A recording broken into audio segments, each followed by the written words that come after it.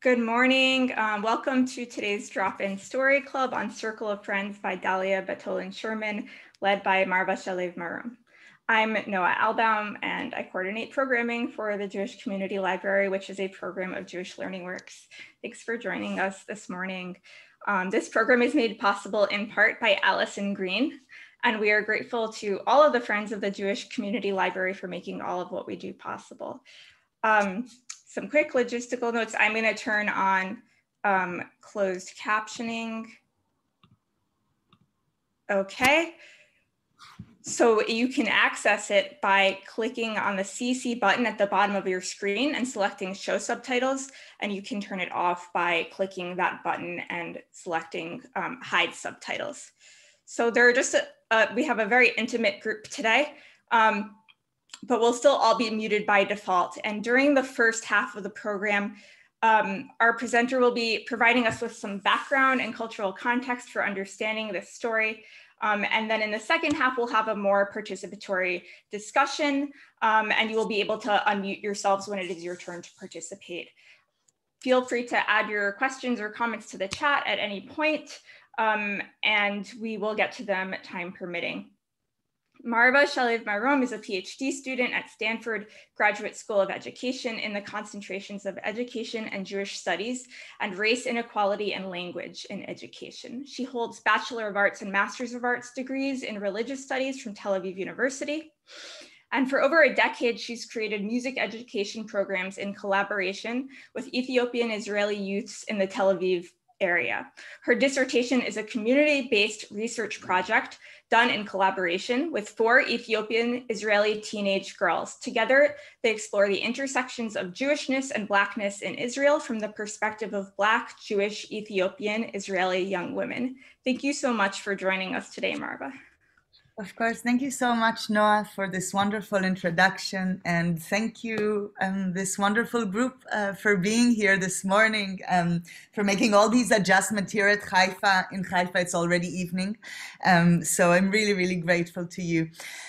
Um, for being here. And I thank the, the Jewish Library in San Francisco for this opportunity to, to have this dialogue here because for me, um, being in communication with Dalia's uh, writing and reading this um, this story in Hebrew and in English was really mind opening, and I'm so curious to hear how how does this story speak to you, and maybe we could decode it together. Such a coded story. Now, because the story of Ethiopian Jews, especially Ethiopian Jews who live in Israel, is unbelievably complex um, I, I wanted to start with about half an hour of just like asking the very simple, like the simplest questions and trying to get a hold of the ancient past and also the, the, the troubling present in Israel of this community. So um, I will share my screen if that's okay with you. Um, here we are. Okay, let's um, play from start. Yes. Okay, I hope you see this. And of course, feel free um, to ask questions and um, especially if there's anything um, like information wise um, right now. And, and if there's something more substantial, definitely we'll have time for everything at, at any point. Um, so yes, um, Dalia Betolin Sherman, a circle of friends, and uh, will be our window into the uh, lived experience of Ethiopian Jews in Israel. Um, this photo actually is a photo that I took um, with uh, with my research participants uh, when we were in Ethiopia, when we were visiting their family members who are still there. So that's one hint to who are Ethiopian Jews. So today's agenda, we will start with the wonderful story of Dalia Betolin Sherman. Um, there aren't many photos of her online, so this was one that I could find. Um, so we will start with three questions. Who are Ethiopian Jews? What are they doing in Israel? And what is their Israeli experience? Then we will go to Circle of Friends and we will start um, decoding some themes, especially themes that have to do with names, bodies, and politics that I, I could feel them like inside the genius of this story is how everything is embedded in the in the very private personal lives of these um, girls and their cliques at school. So we will try to unravel some of that. And of course we'll have time for questions um, in the end. So here we go. First, I'll introduce myself a little bit. My name is Marva. I'm from Jerusalem originally. Um, and what I'm going to tell you about and the, the sort of expertise that I'm gaining in the, in the story of Ethiopian Jews is actually not mine, is something that I'm doing in collaboration with four amazing young women that I actually had the privilege of uh, teaching them music since they were small kids. Um, we met um, in uh, these their names are um, Alamnesh, Serkalem, um, Warkitu, and Yeshinat. And um, we met in these settings. I was a teacher soldier in the army. That was what I was doing. I, I was supposed to teach Hebrew to kids. I ended up teaching guitar. And that, en- that ended up being a great part of my life. I, I thought I was like a miserable poet until then. And all of a sudden, things opened up for me. And later on, I founded a music center in Jaffa um, close to Bat Yam, where where kids of Palestinian families that um, that previously cooperated with the IDF, so they they had to be settled in a place that was more Jewish. They settled there with Ethiopian uh, community members, and in that community, we had in that little street, we had a small storefront. We taught a lot of music there, and we did a lot of music together. We had um, even classical music going and um, it, through that experience, I got to know these four amazing young women. And together we are asking questions um, that have to do with their lived experience growing up in religious high schools. Now it's going back to the story. And, and um, coming from Ethiopia, living in Israel. And how does that have to do with the Judaism and the Jewishness and the Jewish people and Israel and all these things we all share? So um, to begin with, um, so this is where I come from. This is the kind of um, emo I bring to this uh, to this presentation, and um, we will start with some traditional background. Who are Ethiopian Jews, and what is the Jewish tradition of Beta Israel? So first of all, um, Beta Israel goes by the name of the Ethiopian Jewry goes by the name of Beta Israel, House of Israel. and they are actually among the only Jewish diasporas worldwide that kept the name Israel um, for its entire history. Um, the other, the only other I know of is the Bnei Israel of India. Both communities were very remote and not part of the halachic um, mainstream Judaism. We'll return to it later. But this community traces itself to the lost tribe of Dan. In the first destruction of the temple depicted in the Bible, so the 12 tribes of Israel spread across the earth, and the tribe of Dan went to um, went southeast and settled in the Gondar and Tigray areas um, from Egypt um, in today's Ethiopia. Um, and they this this um, culture um, and the culture of the lost Dan tribe, they did not return to the second temple. So a lot of the the the, the things that we know about uh, Judaism, like you know Talmud and Mishnah and all these things, are not really part of their canon. They sanctify what they call the Orit, the Old Testament, and you can see a part of it here um, in the right side. You can see it is written in Ge'ez. Ge'ez is ancient Amharic. It is a beautiful, beautiful language. It's one of the only Semitic languages that really preserves um, biblical um, biblical and other books that we, we don't have in any other languages. Um, so um, Beta Israel, um, they sanctify the Orit, and the part like the Old Testament, and especially the five books of Moses, and they actually preserved many of um, the customs that were biblical that um, later other Jewish communities uh, went away from. One very um, dominant example um, yes, we'll start with this, is um, that that in Beta Israel, the lineage goes by the father. In order to get married in the community, you have to count seven generations back to make sure that there is no blood connection. So the names of the fathers are really important and they're part of every marriage arrangement. Now, the halacha made uh, this test of Jewish ancestry into the mother, and that turned that that became very um, important and troublesome when Israeli citizenship came into question. Now there is something that we will return to in the story later, which is the meaning of names. In Beta Israel, almost every person has at least 10 names. And the names are extremely important until you grow up to be who you are. A child is born and a grandmother looks at him and says, You are my uh, happiness. And she calls him Desta which is happiness in Amharic. And then his father looks at him and he says, You are strong, and I will call you Mandefu, which is power. And um, then the mother says, You are my light, and she calls him Mukat. And then gradually the child's character comes out, and the name that they end up having is the name that fits them best. And I think that there is a lot of what does it mean to be a child and an individual in this culture is a lot about that. You get your names and the meaning of who you are from your community. Another thing that is very special about Beta Israel is the religious virtue and independence and agency of women.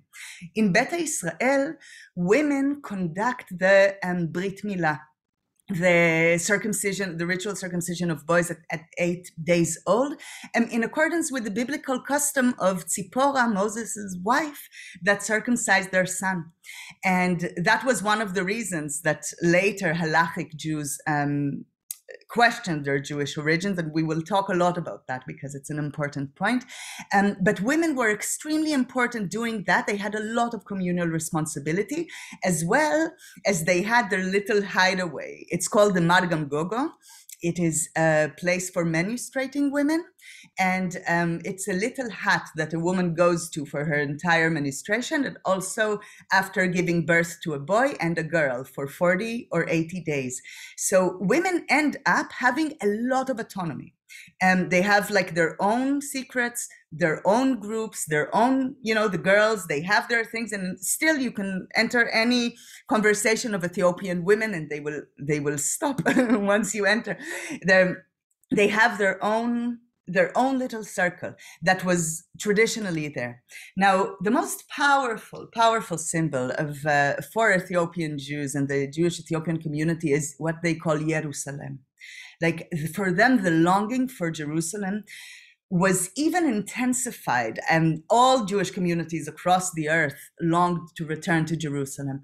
But for Ethiopian Jews, um, as the lost tribe of Dan, for them leaving Jerusalem in the first place was also the loss of family. You lost any connection with the Jewish people, and we will talk about how did they come back to life in the Jewish world. So they lost um, their family, and they wanted to come back to the Jewish world. And one of the most powerful um, uh, quotes I found was of Kes, the rabbi. We will talk about what Kes means, um, Tegenya, who said, like a drop returning to the ocean, we will return to Jerusalem. The hope was to be finally, finally um, reunited with the Jewish people as they were a Jewish minority in Ethiopia. They were named Falasha, which is a degrading name that means they're not entitled to inherent or own land. What you can see here in the pictures that I didn't show um, is um, is the the kesses. You see their um, big umbrellas. It's the traditional wear of what the kesses wear, and, and you can see that the the dress of women, these natellas that they're they're wearing, the white clothes are especially like they're very special for Ethiopian Jews, unlike for instance the black clothes that we find in Europe. Here, these were the ones that really made a, a Jewish person who who recognizable. Um, now, yes I'm admitting people because I got the chance. Now let's talk about their aliyah. What happened? Um, in terms of the aliyah, you would think a Jewish community that survived for so many centuries alone in Ethiopia, and finally they want to come to Israel and they want to be merging with the Jewish people. So that was and still is extremely complicated. And that's where Dalia's story enters into the picture that we're trying to understand. So Ethiopian Jews were living in Ethiopia, and guess what? They thought they were the only Jews in the world. They did not know that there are going to be any white Jews. They had no idea. And when the first um, mission uh, people from Kol Israel Chaverim came there um, in the end of the 19th century, and then they sent uh, Yosef Faitlovitch to, to actually spend time with them, he said, Listen, it's miraculous that there is a Jewish uh, community in Ethiopia. They preserved a very, very ancient kind of Judaism, but they need to be with us on the same page and they need to learn from us how to be Jewish. And Jacob Faitlovitch um, brought many students um, to study in Europe, to study in, in the Yishuv before there was the state of Israel, and to bring back um, sort of rabbinic Judaism or different Judaism back to Ethiopia. They thought it would help. But then, as early as 1942, um, Rabbi Uziel of the chief rabbinate um, said, We cannot consider them as fully Jewish according to the halacha as I told you, um, we have some differences. For instance, who conducts the circumcision? Can a woman do it, or do male have, men have to do it? And does the lineage go uh, according to the father or according to the mother? All these things and other differences made Ethiopian Jews different. And Rabbi Uziel says if they're not Jewish according to the halacha, maybe their inclusion in the national home for the Jewish people is in question.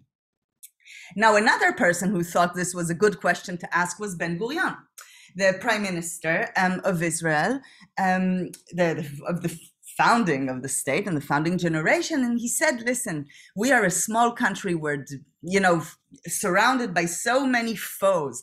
All we, we don't need more political trouble. And Ethiopia is not a Muslim country. It is a Christian country and it's an ally, and we cannot um, we cannot enter into problems with them. Haile Selassie, who was the king of Ethiopia then, was very proud of the Falashas as being part of the Ethiopian diversity. He referred to Ethiopia as a museum of tribes, and he said that why shouldn't we um, let go of our diversity and, and let these Jews go away? So Ben Gurion did not want that to happen.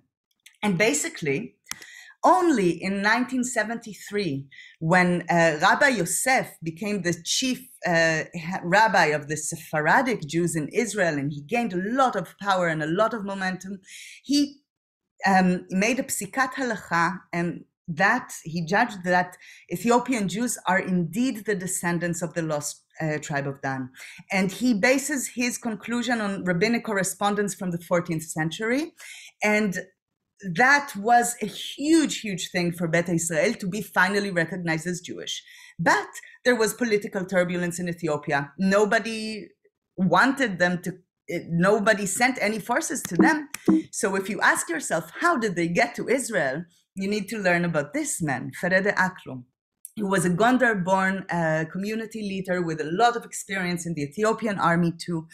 Um, Ferede Aklum designed a route through Sudan, a walking route from the hilltops of Gondar, Ethiopia, um, through the Sudanese desert in order to reach a refugee place with um, in a place that that uh, Israel had political relations with and could secretly come and save them. He cooperated with the Mossad agent Danny Limor, and their cooperation received a sort of Hollywood depiction in the Dead Sea. Um, uh, the the Dead Sea. Ooh, I forgot the the last name of it. It will come back to me, but like it was um, a movie that that was um, maybe somebody knows.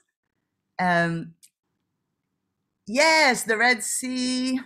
I'll find it in a moment. It will it will return. We're dealing with uh, important stuff. By the end of the conversation, you will have it. Um, oh, the, maybe the Dead Sea Resort or Dead Sea Hotel. It was about right. It's the Dead Sea Resort.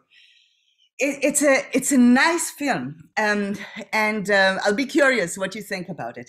Another thing that I want to say that is really important because we are here in a San Francisco. Um, context, without American Jewry, Ethiopian Jews would have not made it to Israel. Absolutely. Without the activism of um, American Jews for Ethiopian Jews that would, took years and decades, and I'm not talking only about the funds that they gave, I'm talking about the the, the political influence of trying to make Israel feel responsible for this Jewish community. And um, throughout if we'll have more time to return to it later it is um, there there have been a few heroes and heroines um, from the american jewish community that made this um, possible. And the, the how important american jewry is for this community i think it continues um, to be as important. Um, american jews usually fund many of the programs that um, of corrective education that ethiopian jews are now attending after a lot had happened before but after, I'm sorry, after families walked the desert, um, you would think that they arrived um, in, in Jerusalem of gold, where the streets flow milk and honey. And actually, the moment they arrived, they received the horrible news that they will have to lose their religion in order to gain Israeli citizenship. And if you think about the cognitive dissonance of a Jew that for, you know, centuries sanctified Jerusalem and they had like an open suitcase in the village just to go whenever the gates will be open, all of a sudden they tell them you are not truly Jewish. And if you see this is a demonstration from 1985 and and the the um the the protesters say they carry signs that say chief rabbis, we are Jews. We are waiting for unification of our families because we're not, you probably know the law of return. Whoever is recognized as Jewish by Israel can have automatic citizenship, but Ethiopian Jews aren't. So all of a sudden, their brothers and sisters and parents and grandparents cannot come. And they say, honor our Kohanim, honor our our religion and our our kesses but that did not help and uh, Ethiopian Jews had to be converted until basically until now for different reasons though. Um, a lot of complexity and i wouldn't want to enter into all that. Just before we leave this i wanted to to bring you a wonderful quote by one of my research participants. Her, her name is serkalem and she's 16 years old and this is what she thinks about this policy. Saying ethiopians are not jewish is the easiest thing to do when you don't want them to have citizenship Today, our school rabbi gathered all the Ethiopians and explained why the white man tells us to convert. I respect him, but I think that questioning our Jewish tradition is just an excuse. Every rule you bring from the halacha, there's always a disagreement about it. It's called machloket. It's easy to use the halacha to justify anything, but someone always disagrees. You don't want Ethiopian Israel? Find a rule in the halacha you do want them, bring a machloket. But you can't say that Ethiopians are not Jewish and that's it, because in the halacha, every question has to answers. Now, Serkalem is a bright girl, and she tells Israel, "You are doing a not not you're not doing a Jewish thing when you're telling me that I'm not Jewish, because the operating mechanism of the halacha is a diverse mechanism. Even if in the end you have one idea, you still have everything else recorded, and you can always return to it. How come all of a sudden everybody agrees that they're not Jewish here?" Now, um, one of the things that is important to understand about Israel as a country, a young country with many immigrants, is how important public education is. We're getting nearer to the circle of friends. It is an engine of nation building for every social context, but especially for people who have come from all across the earth. Now, this is a quote of Ben Zion Dinur. He was the first um, minister of education in Israel. And he says, listen, for 2,000 years, we Jews weren't responsible for state and government.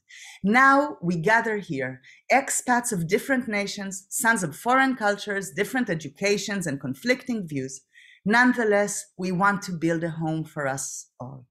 From former Al- Algerians, Moroccans, and other Easterners, we must now build a people. The state is the greatest, most efficient tool for the construction of the people. Notice this quote First, he is saying we are diversity is a challenge for Jews in Israel. We came from so many places and we have different views. Nonetheless, we need to build a home for all of us. But then he says, okay, we need to make a people. But he doesn't say we need to make a people of Germans and um, Spanish people and Italian people, but we need to make people of Algerians and Moroccans and other Easterners. We need to educate them according to a model that was founded by the by the founders of Israel that all came from an Ashkenazi European background. So, and the last thing that he says is that the state is the greatest, most efficient tool for constructing the people, and for this reason, um, public education was always something that um, was important um, for nation building and for um, absorbing immigration. And in the 1950s and 1960s, all these foreign Algerians and Moroccans and Iraqis and Persians and other North African and Middle Eastern Jews were channeled to the religious public education system, to the Makif schools, as part of their ab- absorption process in Israel. And the religious schools they attend to this day are different from those who cater to the kids of the Ashkenazi elite, that is the Yeshiva Tichonit and the Ulpana. It's very complex uh, dynamics here, and I would um, I, I, would love to explain a bit more um, about this.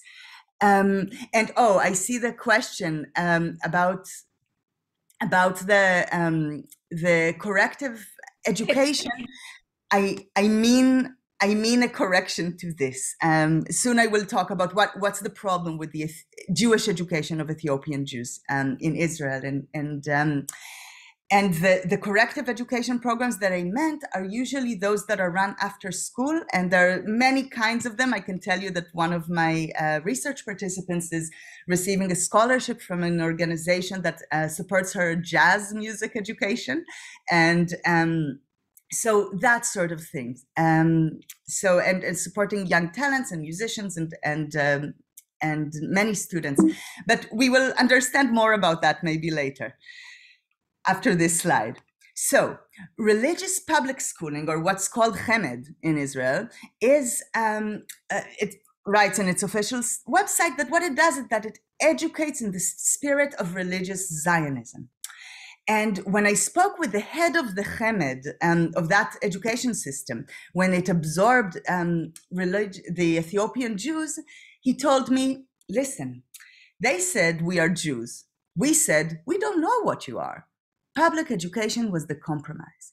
So, as part of the conversion um, policy that conditions the citizenship of Ethiopian Jews in Israel, they also have to attend a special school system and the, which is the school system that we read on in the circle of friends that usually they go there and they attend it with the majority are um, students of north african descent and mizrahi descent and um, and and then there are the ethiopian ones there now it wasn't just a compromise. And one of the most painful uh, quotes I received during this research was um, of Workitu, uh, a research participant of mine. And she said, I was 10 when I got my first A plus in math, and I was the only one in class. The teacher got mad. How come she got it right and you Israelis didn't? I was so surprised. I was sure I was Israeli. Now, this thing that Ethiopian Jews are deemed as other than Israeli, also by their teacher, is something that is basically an educational policy now. And it's very hard to explain this um, to people who live in a place like America, which is so organized mostly. Here, you can have a policy and you can have the ground, and the ground speaks for itself. And most of the uh, schools that Ethiopian children attend are schools that serve 95% of Ethiopian children. And um, for all the reasons in the world, there are schools that don't allow Ethiopian children um, to enter because they're not Jewish in the way that they deem right, and all these private schools. And the situation that was created in the end um, I think Pnina Tamano Shata can say it better than I do. She is a Knesset member, the first Ethiopian woman to be a Knesset member uh, from 2019, and she's the current Minister of Aliyah and Integration. She said this We have become the punch bag of many, many educators who think in their dark minds that they can hurt the physical safety and personal well being of kids of Ethiopian descent and get away with it. Nobody fires those teachers. No one withholds state funds from schools that don't accept Ethiopian children, and there are many. Ethiopian children are separated in classes, kindergartens, at schools, and separation is the best case scenario. The worst is blunt child abuse that no one is asked to explain. And this is a situation that I think, you know, if Ethiopian Jews were more than 2% of Israeli society, maybe this would have drawn more political attention or something. But this has been the reality since Ethiopian Jews made it to Israel in the first um, Operation Moses. And for the 40 years that they have been absorbed in Israel, situation becomes more and more like this. Instead of assimilation, what we see is this.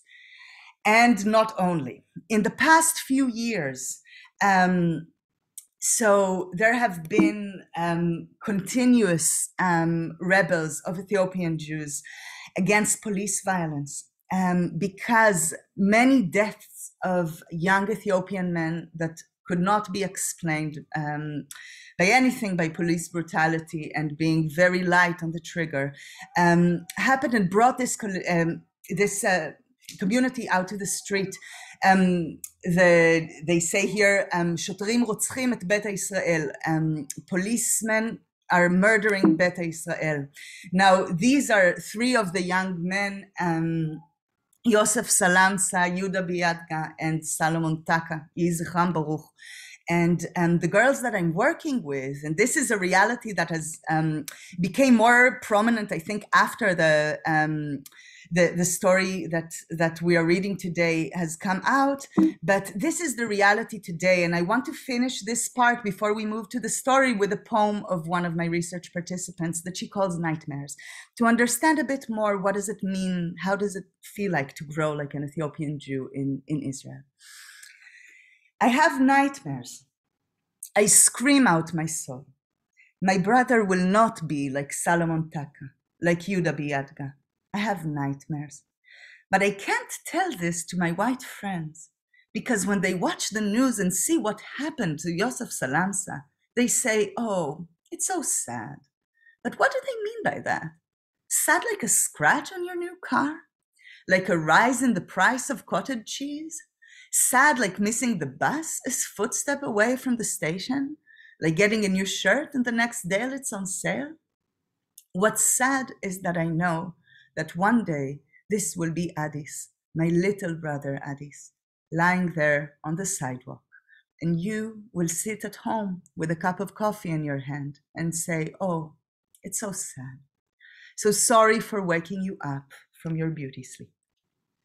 Um, this very powerful poem um, not only depicts the reality of terror that a, a person who who feels a lack of personal safety um, can feel, it also raises a, a grave question. And um, waking us up from our beauty sleep or maybe an ugliness sleep is something that many Ethiopian Jewish, uh, especially women, have to do. And this, um, the difference, what happened in Israel is that the difference between um, you know being a Jew in a different way, like your chala goes like this, and my chala goes like this, and my ancestry goes like this, and your ancestry goes like this, all of a sudden became a difference of citizenship status. It became a difference in personal safety, and for this reason, Ethiopian Jews have a lot of perspective also into other people who experience blackness in Israel, like Israeli Arabs, and um, so we can go there in a different time. We don't have a lot of time now, and I wanted to give time for questions and for the story. So um, yes, let's let's start um, with who Dalia Betolin Sherman is. So Dalia was born in 1979 in Gondar, Ethiopia. And at five years old, she partook in the Moses operation in the first Exodus, the Ethiopian Exodus, that uh, they, they walked the Sudanese desert to arrive in Jerusalem. She was five years old and she was carried on, she remembers she was on either a donkey or on an elder's um, back. Um, her grandmother probably. And um, she has a ba in social work and an mfa in creative writing both from ben gurion university of the negev. And that's where she met professor Yigal Schwartz um, who is a, a, wonderful literary editor and a great professor of uh, hebrew literature. And he told me he's a good family friend and he told me and he was um, our relationship is that many many years ago he he discovered my mother as a writer. My mother is also also a writer. And when I asked about Dalia, he said, listen, it wasn't that different from your mother. It was just like, I heard her, there was a little evening that everyone had to share something. She read two paragraphs, and I was like, this is what he told her, you must write. I'll give you my office for one day a week. She said she doesn't have any place to write. And said, No, you'll get an office, and in a year you will have a book. And so she did. They worked together during that year. I mean, she was just in the office, and and then he he uh, worked on her writing ever since. And then her book came out. It's called When the World Became White. Not all of it was translated into English, unfortunately. And I think um, whoever um, you that, that likes to read Hebrew or, or wants to try, it's a fascinating book. It has seven short stories that also tell a bit, bit, more about the family relations between this girl and her very Ethiopian father and how does that clash with the Israeli reality. In 2014, she received a, a prize for a first novel, but she has she did not return to writing ever since. And I think it's it's her choice. It's also something that we need to take into account. Um, but she doesn't do it right now. She has two kids. Her husband is Russian, and they just returned from America for a postdoc in medicine or something that he did. So this is the the woman. She's a terrific writer, and I wish she would write more. Um, another book after this, but at least that this will be translated into English.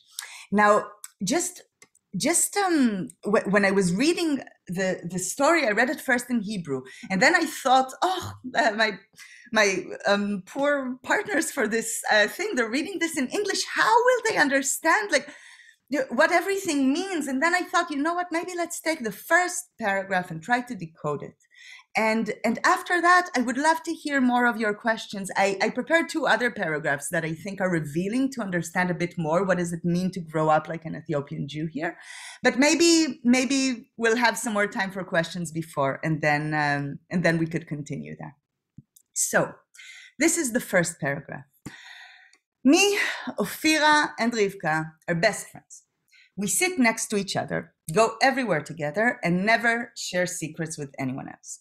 We are all in Miss Dvora's fifth grade class at the Tachkimoni school, ranking below Adva and her circle of bees, who are the most popular girls. Then come the ordinary girls like Chagit, who Rivka sits next to. Me and Ophira sit behind them. Me, Ophira, and Rivka are ranked close to the level of the ordinary girls. We're better students than Sally and Shani, who are terrible. At least we got a few satisfactory marks on our report cards. Sally and Shani have normal hair, but they have big, broad shoulders, and they look like boys. And that lowers their rank. And they don't have to go to our after school group, to the one for the new immigrants, not just from Ethiopia, but other places too. Um, at the very bottom of the class is Tamar Stein with the lice and the runny nose. Tamar is a clique by herself. What we get here is an overview of basically Israeli society in a nutshell, in a coded nutshell, um, that is um, maybe sponsored by the myth that in of Israeli public schooling that says that everyone is the same or should be the same. But what we find here is hierarchies. First of all, let's notice the names. There is me, Ofira, and Rivka. Now, we never know throughout the whole book we don't know what the name of the storyteller is and i think that is salient because as we said names in ethiopia were extremely important for beta israel and here the moment you come to Misrad Apnim, then Misrad Aklita, they're giving you a Hebrew name. And there's a difference between Ophira and Rivka and my students who told me about the Hebrew names that they got and then they, they returned from. But this is one sort of names that we have here. We have Miss Dvora, who is uh, the, the, the teacher, and we have Adva and her circle of bees. Bees are Dvorim, and Dvora is a bee, and that's also it shows you that the the the teacher and the queen of the, the queen bee of class are are sort of in the same clique. Now, aside from them, there's also Chagit, and Chagit has Sali and Shani. And what do we know about them? We know that they have um, that they're normal, that they're ordinary girls. And we know that they have normal hair. They don't have that great uh, grades, and and they look like boys, and that lowers their rank. But they're normal somehow. And even though Ophira and Rivka and the storyteller have better grades than Sally and Shani, they're still ranked a little underneath them. Now, for me, the revealing place here in this paragraph, the, the, the revealing thing was was Tamar Stein because Tamar later um, they they refer to her as someone with blue eyes, just like Adva. But there is something they say she's psycho, she's different, and that difference, that being different, put her at the bottom of the scale with where she is alone. Now, notice the difference in how how do you know somebody is in your rank or not they don't have to go to our after school group that's a big big big issue um Ethiopian Israeli kids have to go to these after school programs that are um, they say colored black, especially for Ethiopian kids. And they're supposed to be like enrichment classes because they lack certain kinds of education. But um, what the kids feel about them is that everybody gets to go home and I have to stick around for enrichment classes in English or something. And then the, the teacher ditches and everything. So that's just one difference about how, how do things look. Now, we say also that there are the ordinary girls. We have, oh, sorry. We have the ordinary girls. And, oh, maybe I didn't um, put the other one. There's also the, the, the popular girls. And there's Tamar, who is a clique by herself. So these are our people, and they are a sort of microcosm of Israeli society. And if we look at names and at bodies, um, Adva later on, the, we know about her that she is the most popular, she has blue eyes, and that she always returns from Florida. She has her thing in Florida and she says the name Florida, and all the bees around her are charmed. She is admired by everyone. And after school, she goes swimming she doesn't stay for the olim, for the lessons for the olim. Now, Chagit is a different name from Adva, and I think that we understand how much, I don't know how we can understand how politicized um, these things are, these differences in names are um, from outside of the Israeli context. But um, names like Chagit and Sally and Shani in a certain um, at a certain time in Israeli history were names that were representative and, and that more belonged to Jews of North African descent.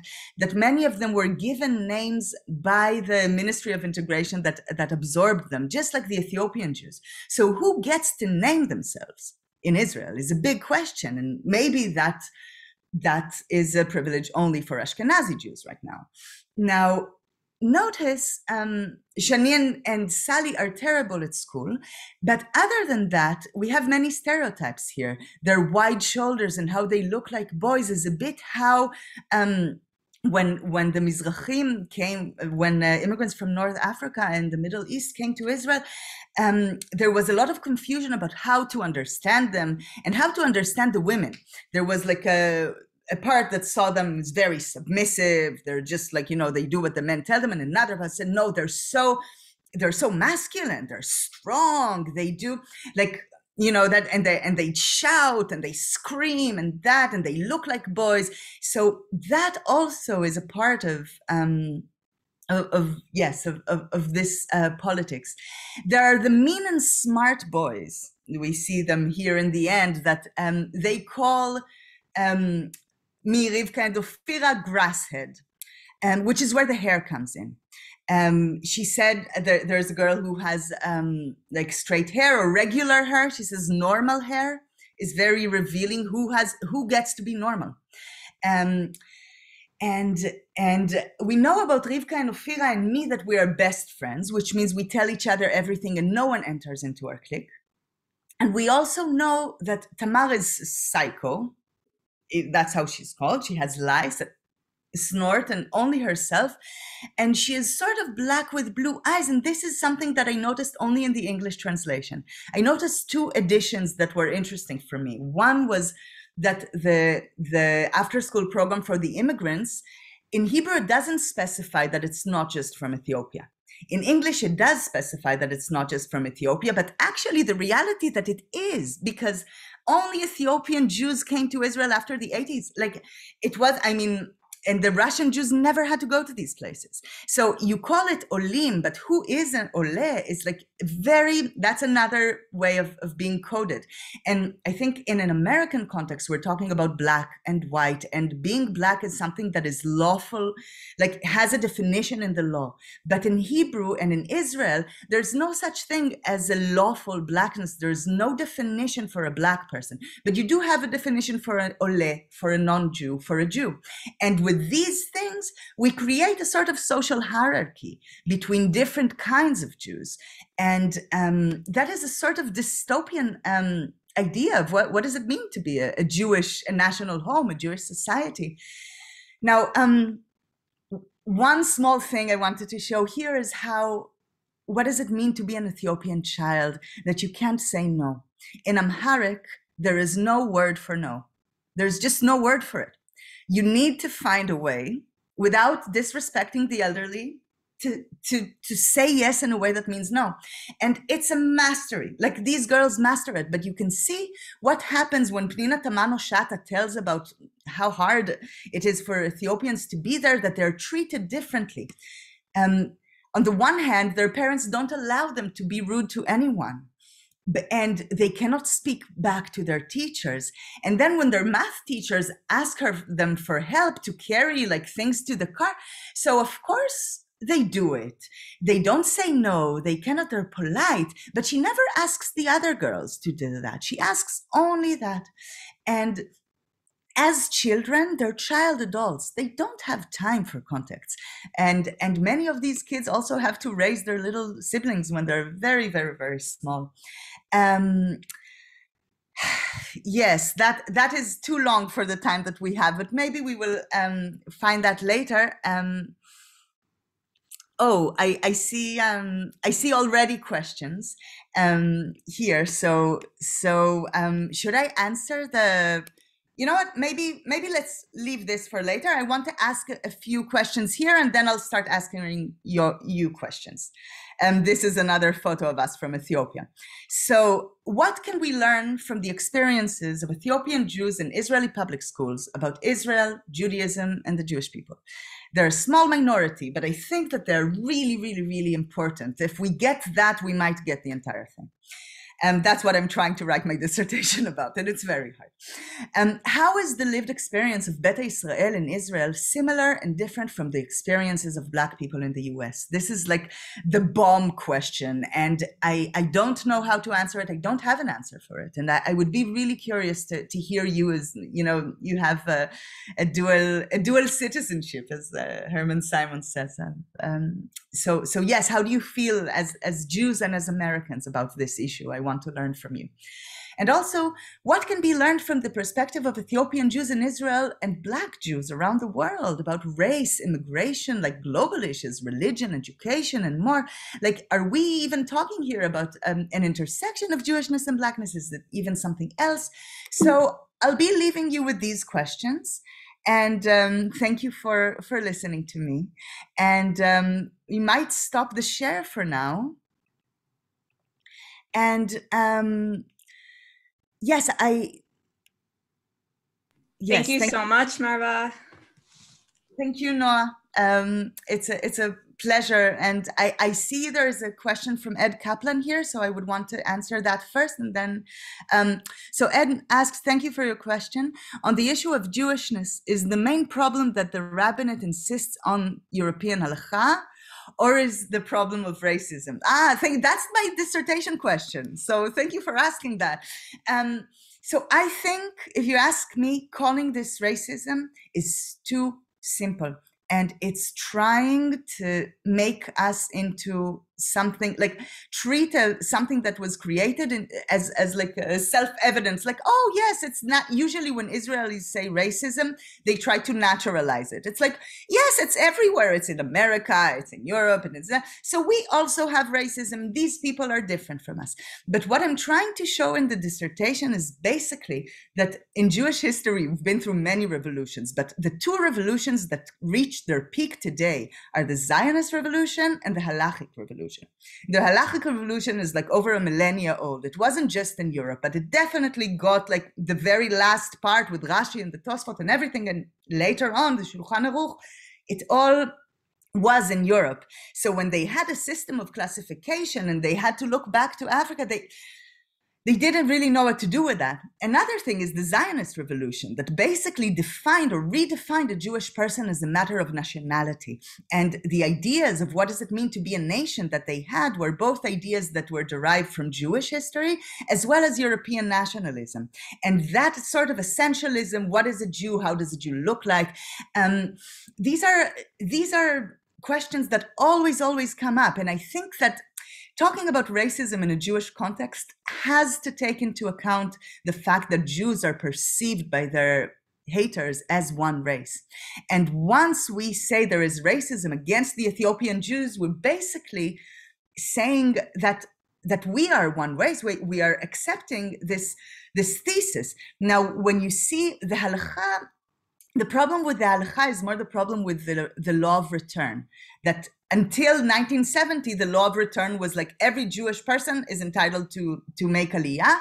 And the definition of a Jewish person was like very um, uh, loose. In 1970, it was already okay. It has, it's only the halacha, and the rabbinate is the one authorized to, to, um, to to make you into a Jew or like to uh, convert you or to or to recognize you as a Jew. And the rabbinate does many conversions, mass conversions of Jews from um, from the former Soviet Union, but it denies this possibility from Jews who are still in Ethiopia. So you see, the state of Israel uses uh, the halacha as a political tool, and I think that that can lead to racism, like to systemic racism as, uh, of the kind that we, we can see in many other places. Um, but yes, thank you for this um, for this question. And just like the, the last thing, uh, we all know um, of the, the horrific Nuremberg laws that, that defined a person, a Jewish person, um, as someone with a Jewish grandmother. And unfortunately, the kind of um, definition that the Israel, that the state of Israel leans on most of all, is this mother ancestry, and that drives me mad when I'm thinking about it. And it brings me back to the idea of can we talk about uh, racism in the Israeli context without thinking about Jews as a race or as not a race? Um, but yes, that's that's for your question, Ed. Thank you. Um, are there other questions or thoughts that folks have about the story? Um, you should be able to unmute yourself now.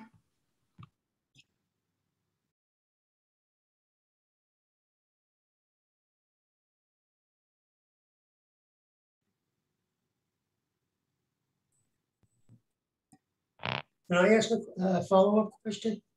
Absolutely. This uh, is very confusing to me uh, because I, I, don't see uh, how, on what basis the, the, state can say that the beta uh, are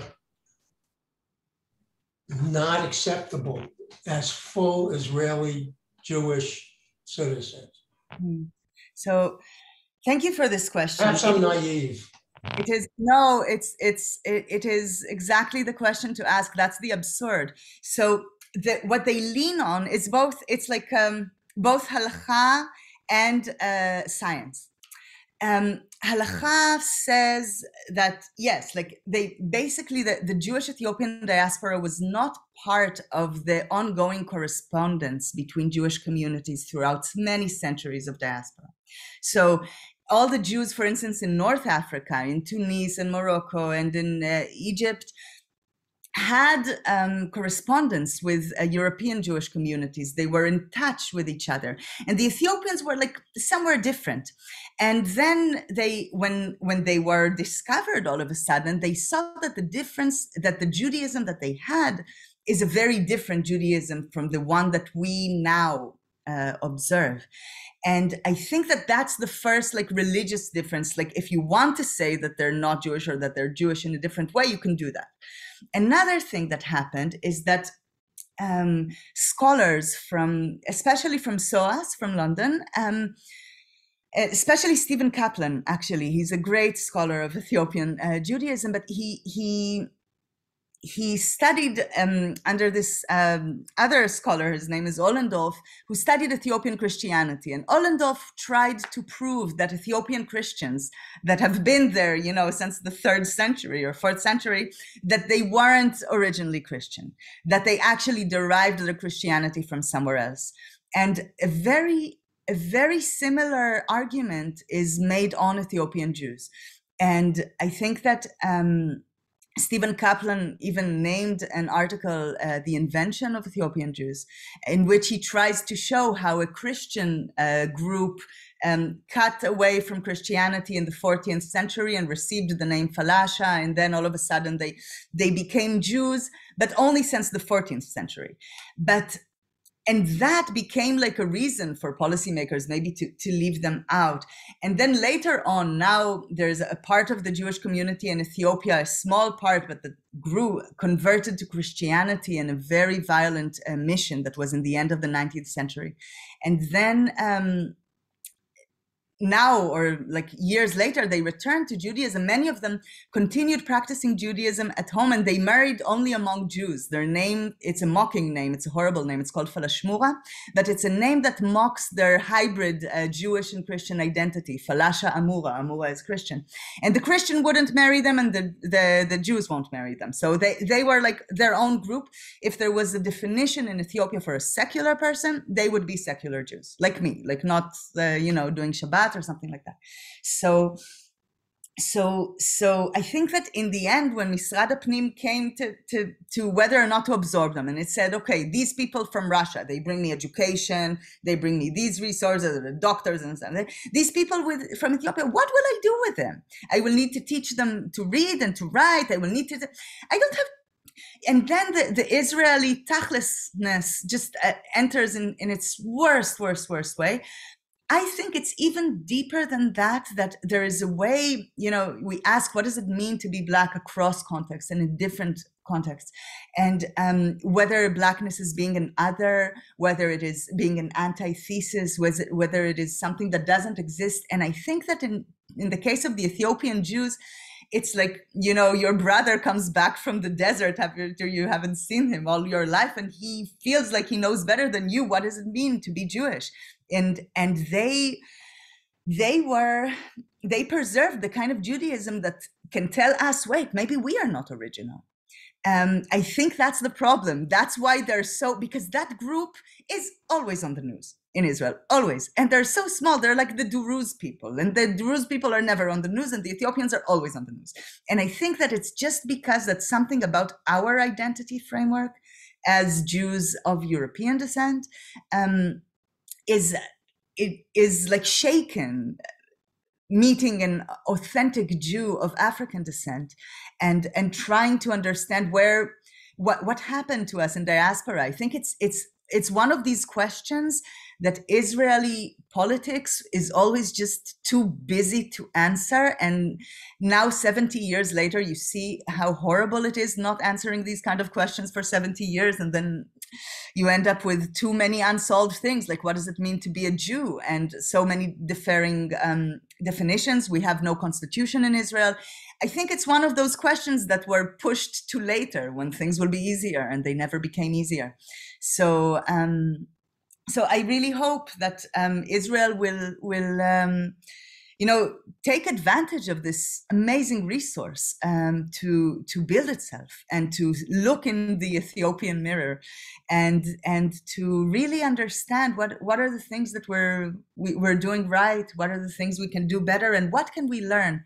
Um, you know a community that walked the desert alone with its grandparents and its uh, children and had burglaries and had uh, you know anything you could think of and hunger and, and disease and they still survived and they came the entire family. They know something about being a community and i can tell you also that when we did um, research in ethiopia i came with a broken leg. I broke my leg straight through two days after i got the funding to take all my students and their parents to visit their family members. And when i cried what? How can we get to gondar if i can't even stand? Alamnesh my student told me don't worry on my back i'll carry you. Just come. And i came with like crutches. I didn't know the language. I was the only white person around. And I learned in flesh that an Ethiopian family is something that can absorb more and more and more people without losing its wholeness. And if there's one thing that Israeli society needs these days, I think is exactly that. Um, so so yes, that's that's for your question. Um, I maybe I can also return to the um, to the question about corrective education. Um, one of the things that that you saw, and we really didn't talk a lot about the, about the story in those terms, but you see the hierarchies that actually, you know, the myth is we're building a people, but in fact we're just channeling them into different places, and how Ethiopian Jews were channeled in Israel, I think, was extremely problematic. First of all, um, if you would, if that book, uh, Dalia's book, would be translated into English in its entirety, you could read about what does it feel like to grow up separately from your parents, because um, 95% of the kids who came from Ethiopia in the 80s were separated from their parents and sent to boarding schools. And and then they were sent to these special education classes. And every time that there's like a test uh, like a um, um, whatever matriculation exam like it doesn't work. There is a very big um, uh, clash between this community and the education system. And what i did for 10 years was part of a collective effort of many many people in israel to try and see what can we help how can we help the the ordinary education system and really like truly doing the the these um these educative um, initiatives in ways that that actually open up and don't close you to to who you are? So the jewish federation of san francisco as well as, as of toronto both were um, giving a lot a lot a lot of support to us and came to visit us many many times um, in the little music center that i had in jaffa and many of the activities that we had there and somehow it was important for for American Jewish communities that these kids would not only learn math and English and Hebrew like they're supposed to at school, but that they will have 3D printings and that they will have a community garden and that they will have a sitar, a guitar lesson. And I think that just it brought it brings back their humanity that something about the absorption process took took away and i also don't want to enter into this sort of you know blaming um, it's not that everything in Israel tried to go wrong intentionally. So many people with the best of intentions were always there. The problem in Israel is never bad intentions. I think the intentions are many, many, many times good. And yet, um, there is a, a, complexity here that I think it's better solved and uh, than ignored. Um, what is the Ethiopian population in Israel? So it's about 150,000 people and it's a very small community. Most of it is um, in, concentrated in places like Netanya and Rehovot and uh, Kiryat Gat and Beersheba. Some are here in Haifa too. Usually they live in segregated uh, living arrangements, not officially segregated, but like they were the last immigration to come, so they ended up being in the Amidar subsidized housing that all the other communities have already left. And there was this idea of placing them together because uh, the absorbers saw what a community structure they had.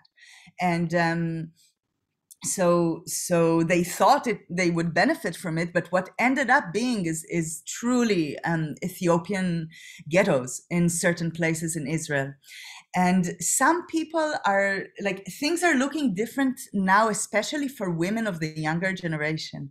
Um, that I think, and if you, I, I, hope to be a prophet on this one, but that we will have a, a Black Jewish community whose leaders are women in, in less than 10 years because the the official religious leadership of this community was um, destroyed by by the immigration process when the Kes the Keses lost their religious authority when Ethiopian Judaism was delegitimized. So um, so now the women are they are the ones to make wages also outside because it was degrading for Ethiopian men to work in cleaning or to do these things. They're used to having their respect. So women became part of that society. And they also continued observing Ethiopian Judaism from home and making the food and making the, the prayers and making those things at home. So now they are the heads of both the religious practice as well as making um, the money in the world. And I think that the girls that are doing this research with me and 10 years are going to run the place, hopefully. And inshallah. Um, are Jews uh, with Middle Eastern roots allowed to attend schools uh, with Ashkenazi Jews? Absolutely. So now that's, um, yes, an, a really good question. Thank you.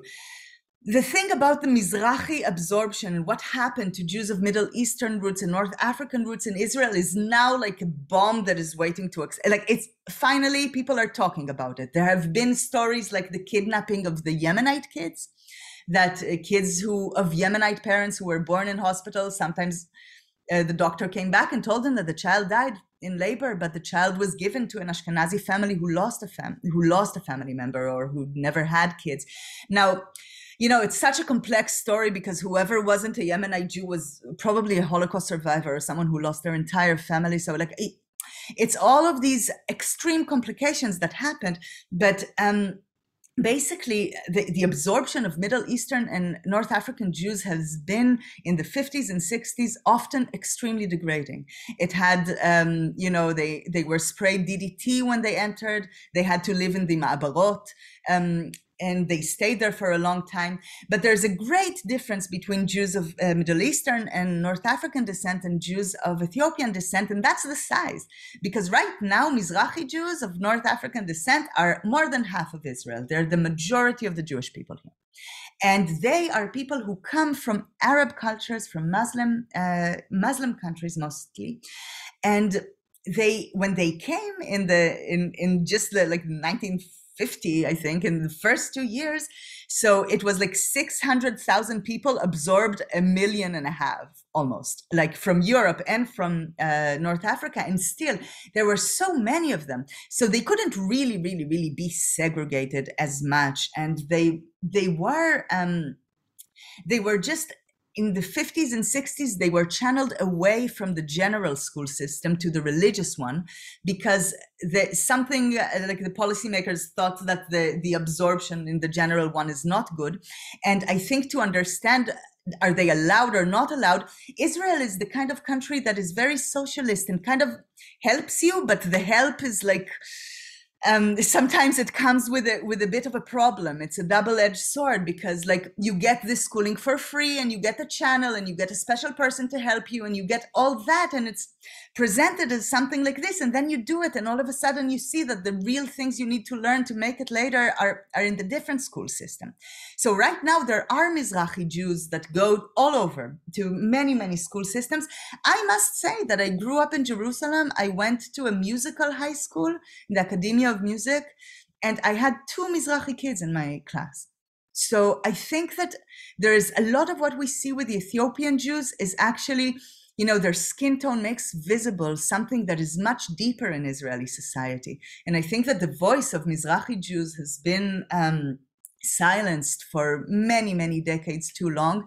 And actually they might be the ones to help solve um, you know if they they have lived in peace in muslim countries most of their histories. Maybe they can teach us to do the same. Um, so i think if only the school systems would um, hopefully when i finish the phd there will be some difference there.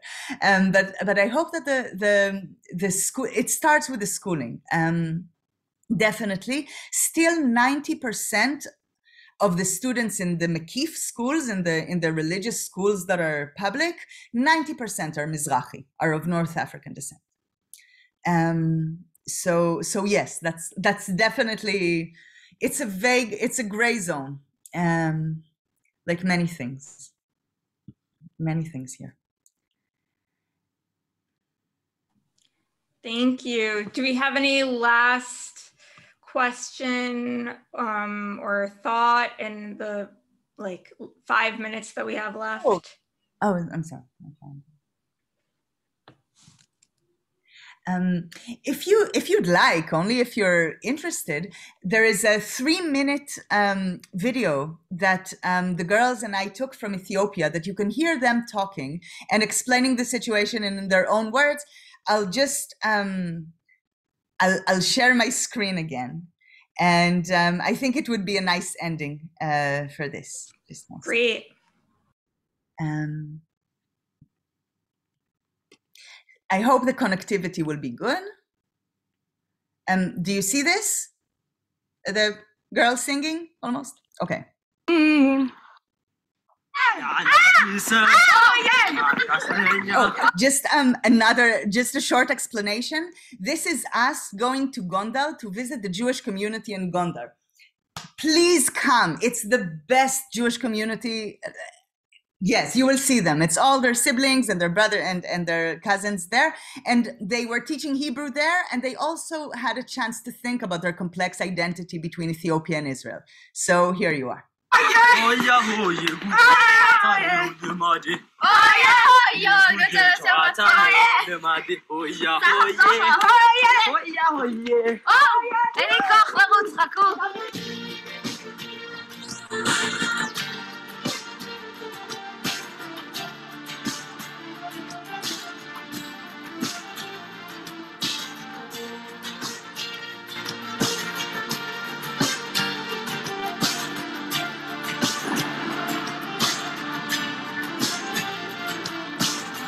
הזמן מסמן לי?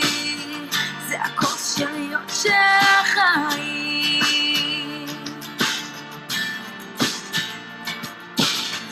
ולחיות את הרגע, להתחיל לאסוף את השברים.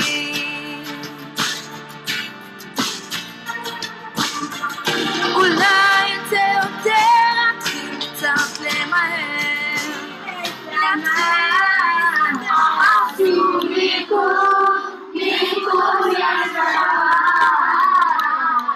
וזעקי בכל כוחך לאלוקייך. מה נשמע? מה נשמע? מה נשמע? מה נשמע? אני תמיד חייבת להיות יותר משאר האנשים, משאר העדות, משאר הזה, כי אם אני לא אהיה יותר, זה אומר שכל ההתאבדות. אני לא מייצגת את עצמי, אני בחיים לא מייצגת את עצמי לכל מקום שאני הולכת, איכשהו אני חייבת לייצג את שאר האתיופים, וזה מכעיס אותי, וזה מכעיס אותי. אבל אני רוצה להגיד את עצמך, כן, היא רוצה להציג את עצמך. כי מה, כי אחרים מסתכלים על זה ככה? כן, כי אני הולכת למקום מסוים, ואת יודעת מה הדבר של שאומרים לי? איך זה שאת מדברת עברית כל כך טוב? מה זאת אומרת שאת מדברת כל כך טוב? אני נמצאת פה 13 שנה, או? איך זה שאת תמיד, אני בין הגבוהים בכיתה, בין הציונים שלי, ואז תמיד אומרים לי, וואי, את חכמה, ואתיופים חכמים, אני אומרת להם, כן, אבל למה? למה לא שמת לב לזה שאחרים היו? כאילו, אם אתה מקבל 70 זה לא בסדר, אבל אם אנחנו מקבלים כיתה שיש שם אתיופים, ארבע, לפחות ארבע אתיופים שמקבלים 90 ו-80, אז אתיופים חכמים. אבל אם יש שם רק אחד שמקבל, בבית שלי גידלו אותי ומגדלים עוד, גידלו עוד הרבה דורות פה באתיופיה. להיות ה... לא. היותר צנועים, היותר... להיפתח, להיות טוב לבן אדם, גם כאילו, גם כשאין לך, תתמודד עם מה שיש לך ותעשה עם זה את הכי טוב שאתה יכול לעשות. אני אישית, אני גם לא אוהבת שאומרים לי אתיופים, האתיופים הנאיבים. מה זה נאיבים? אתה אי פעם באת, אתה אי פעם דיברת, כאילו יצרת אינטראקציה כזאת שהם יוכלו להגיד מה שהם חושבים? בטוחים, יש להם איזו נטייה כזאת בראש, אנחנו באנו, הצלנו אתכם מתוך הדבר הזה. עכשיו יש לי שאלה, אמא שלי בחיים לא למדה מתמטיקה. היא בחיים, בחיים, בחיים לא ישבה בבית ספר. היא יכולה לספר לך על כל אחד ואחד ואחד בשבט, מי הוא היה, מה אבא שלו היה, מה סבא שלו עשה, ויותר מזה, היא יודעת לעשות מתמטיקה יותר טוב ממני. את יודעת למה? כי היא הייתה צריכה את זה. היא ידעה שאם היא רוצה למכור והיא רוצה לאכול, חייבת לדעת כמה זה חמש כפול עשר וכמה זה זה, והיא יודעת הרבה יותר טוב ממתמטיקה. כי אתה לומד את זה דרך החיים, והם חושבים שלא, הם הצילו אותנו, כי כי זה מה שעשינו עד עכשיו, אנחנו שרדנו עד עכשיו, וגם לצערנו הרב בארץ ישראל אנחנו שורדים. Okay. Um, so let's uh, end with with the words. I hope um, you you can hear some of this. Um, but these wonderful girls.